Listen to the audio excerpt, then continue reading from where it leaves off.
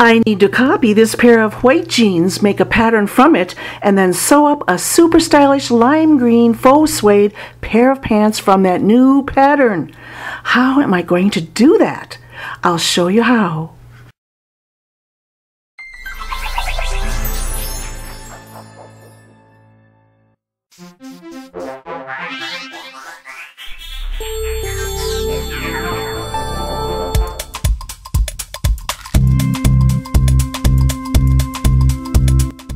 My client got this really nice lime green faux suede. And like I said, we need to copy this pair of pants. The client just loves this pair of white jeans with its flared legs, fitted thighs, and all this fun detail with side zipper. Besides that, we think we're going to make some minor size adjustments and she'd like to do the detail of perhaps a lace-up side vent. Now, important detail, my friends.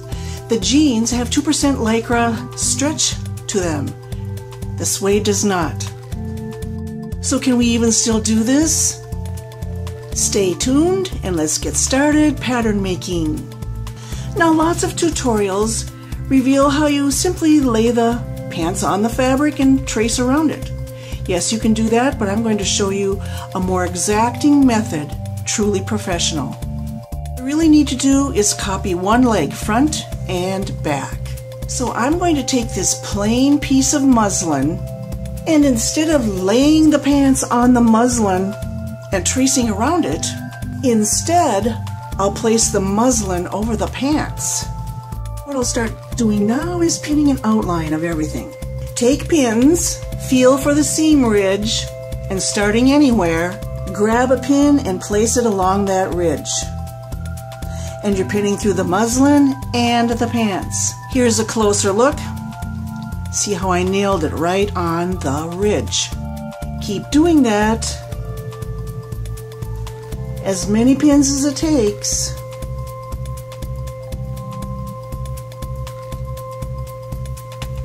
Until you're all the way around. So why are we all of a sudden talking about copying onto muslin when we're supposed to be copying onto the faux suede? And by the way, what's muslin? We're copying onto inexpensive cotton woven muslin because it's the perfect cloth for patterning. We need to get this right, and simply tracing onto the good stuff without working out bugs on the cheap stuff is shortcut, but not necessarily smart. That means having perfected an inexpensive copy first, then we'll have the confidence to use it on the more expensive, luxurious faux suede. As you get up to the crotch and the all important corner here, where we're going to turn a 90 degree angle pretty much, go ahead and feel for your ridge, which is the seam line, and turn that corner. Making sure all the fabric stays smooth, keep going. Place as many pins as you need, probably a lot of them. We're almost to the waistband and we'll make the waistband a separate piece so that when we get up here, we'll be following this ridge below the waistband across and back over to where we started in the beginning.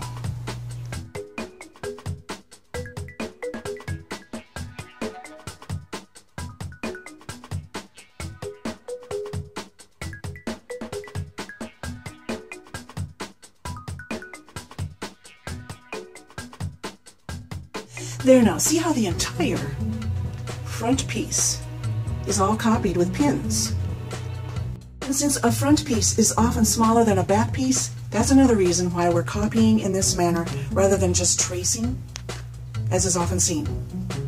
Now all I have to do is make pencil marks or some kind of mark over each hump of the pin so that when I remove the pins, I'll have a dashed line to follow for cutout, except not quite.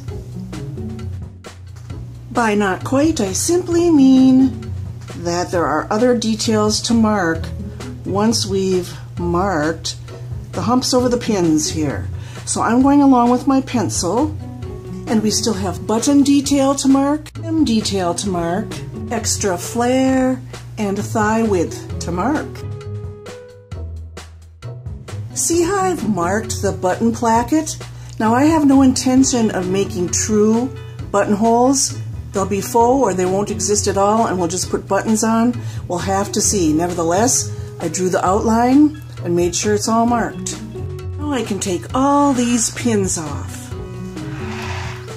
So remove the muslin, set aside the jeans, lay the pattern out flat, take a straight edge and start connecting dots.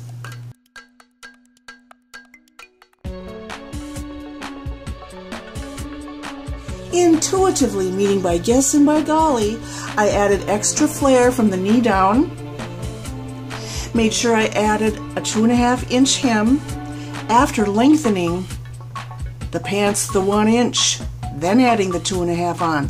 Looks like I just barely made it on the fabric.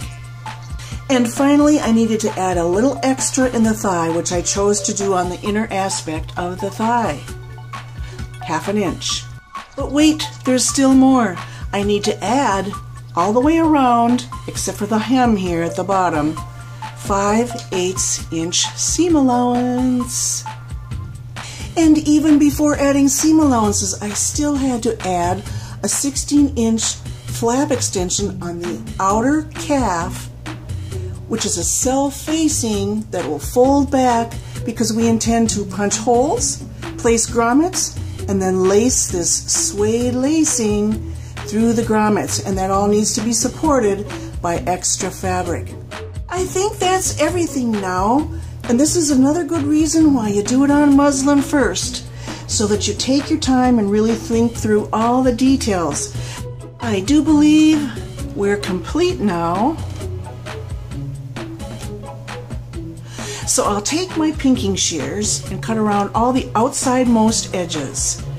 That's because this fabric really frays. Pinking shears it is. Finished at last. Now repeat all that you learned on the back side.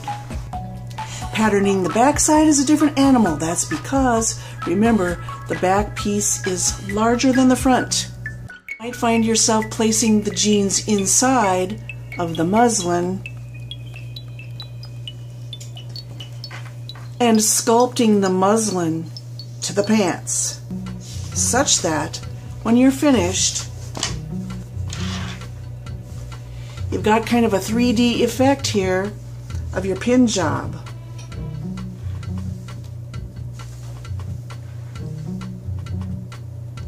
All the while keeping everything smooth and well outlined. You can do this, it's just a little more challenging than the front piece. Okay, here's the first sample. And you'll notice each leg is a different material. That's just because I didn't have enough of each sample material. So, did the pants fit? I mean, that's the thing we've been waiting to find out all along, isn't it? No, they did not. There was a gap of about two inches that she just couldn't zip up. So, what that tells us is this we can copy exactly when working with like or similar fabric. That means match woven non stretch to woven non stretch and stretch to stretch. We can't copy exactly when working from stretch fabric to non stretch, which is the situation we're in right now allowances will have to be made in the direction of larger pattern pieces. We can't copy exactly when working from non-stretch to stretch. In this situation, possibly, allowances can be made in the direction of smaller pattern pieces. Keep these three general rules of thumb in mind when copying garments, and you'll do well. Otherwise, client was absolutely thrilled with the way the legs are turning out and their length. So it'll be a quick and easy job now for me to tear all this down because I'm used to that kind of thing. And it will be worth it to make another new pattern before advancing on to the true green faux suede. Here's the second pair of sample pants. They look so great on her, which means the pattern is now perfected and we can tear this down to lay out on the green faux suede. Let's compare the old pattern to the new one. Looking closely, you'll see we added a good half an inch to the inner thigh, virtually nothing to the front seam, except right up here at the waist. We added a little bit in and a good half inch to 5 eighths inch on top of the waist. Over here in the hip area, I added a good 3 quarters inch because I need to have enough for that side zipper. Then we came down to about 5 eighths inch when we get to the knee.